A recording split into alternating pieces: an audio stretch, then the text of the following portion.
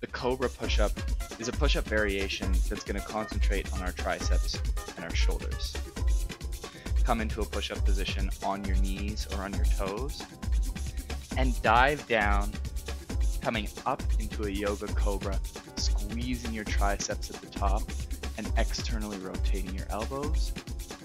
And then come half arms bent and push back to the high push-up and then come back down, squeeze the triceps, and then push out of it. So you're gonna feel tension on your shoulders as you transition out of the low plank to the high plank and back into a cobra.